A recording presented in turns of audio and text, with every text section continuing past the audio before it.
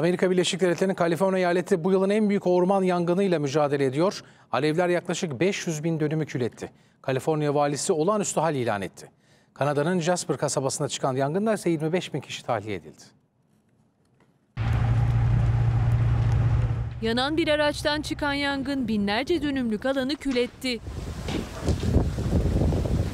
Rüzgar etkisini artırınca birden fazla ateş hortumu meydana geldi. Amerika Birleşik Devletleri'nin Kaliforniya eyaleti yılın en büyük orman yangınıyla mücadele ediyor. İki ayrı noktada çıkan yangınlarda yaklaşık 500 bin dönüm arazi küle döndü. Kaliforniya valisi Gavin Newsom, park yangını ve Gold Kompleks yangınından etkilenen bölgeler için olağanüstü hal ilan etti. Yüzden fazla yapı kullanılamaz hale geldi. En az 4 bin kişi bölgeden tahliye edildi.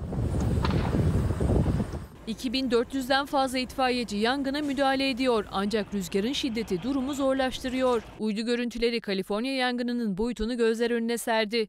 Kaliforniya Ormancılık ve Yangın Koruma Dairesi'ne göre yangına bir araç neden oldu. Buna göre 42 yaşındaki bir kişi Chico bölgesinde yanan aracı çukura etti. Park yangınına neden olan alevler bu şekilde yayıldı. Savcılığa göre gözaltına alınan şüpheli kundakçılık suçlamasıyla karşı karşıya kalacak.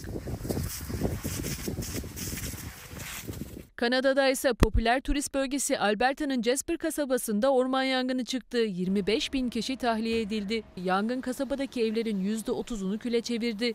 Başbakan Justin Trudeau yangınla mücadele için federal yardım gönderdi.